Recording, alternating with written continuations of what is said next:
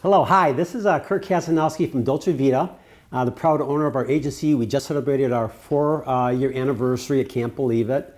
Uh, we're based in uh, in the Ukraine, and I get calls all the time from gentlemen, you know, looking for dating tips, guys that are going over to meet women in uh, Ukraine. So I want to share you five simple, easy tips on dating a woman in the Ukraine, and from both my personal experience and just talking with uh, both Oksana and Elena, are our relationship consultants in Kiev. First, be self confident. A Ukrainian woman is looking for a man that can protect her, guide her, be her mentor. So you want to be able to be uh, have good uh, positive body language. You want to be able to always have a smile on your face and seem assured as you work and interact with the woman. The second thing, and this is key, gentlemen, you need to understand the difference between a Russian woman and a Ukrainian woman. If you say, if you lump in a Ukrainian woman into a Russian culture and think they're the same, you're, you're dead in the water. so you really need to understand the difference between the two cultures. And there's a lot of material out there that can tell you the difference between Russian and Ukraine, the culture, the traditions, etc. But if uh, you can't find that, please give me a call. I love chatting with gentlemen from all over the world. And uh, I'm blessed to have a beautiful Ukrainian girlfriend, and I've learned the culture through working with Natalie and her telling me about it, so I have a lot of practical experience there.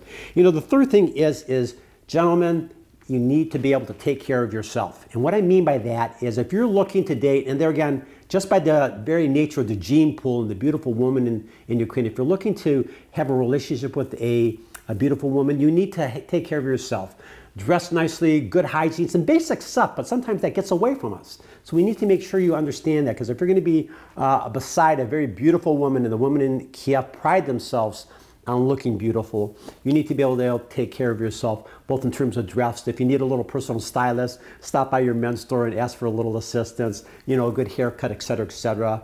Uh, being in shape is always a positive thing, so I encourage you to sort of focus there. You know, fourth is showing that you're caring.